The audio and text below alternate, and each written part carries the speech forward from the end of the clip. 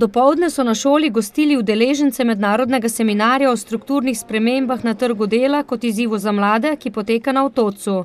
Ob tem so izpostavili svoje izkušnje z inovativnimi oblikami poklicnega usposabljanja.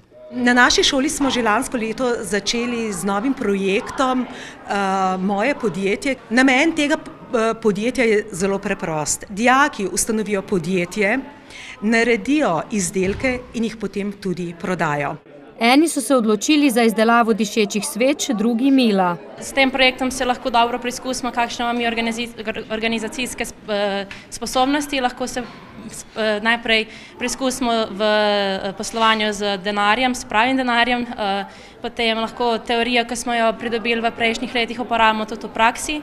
Izkušnja s podjetjem je dobrodošla tudi z vidika nadaljnega študija, povdarjajo dijaki. Ne gre torej za učenje iz knjig in učbenikov, ampak za drugačen pristop k poučevanju.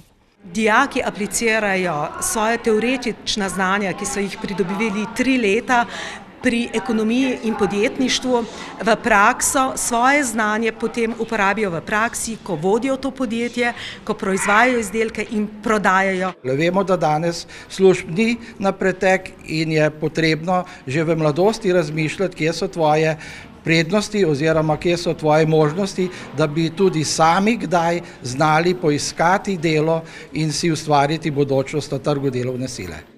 Zato je izkušnja z lastnim, če tudi internim podjetjem znotraj šole za dijake in dijakinje še kako dobrodošla.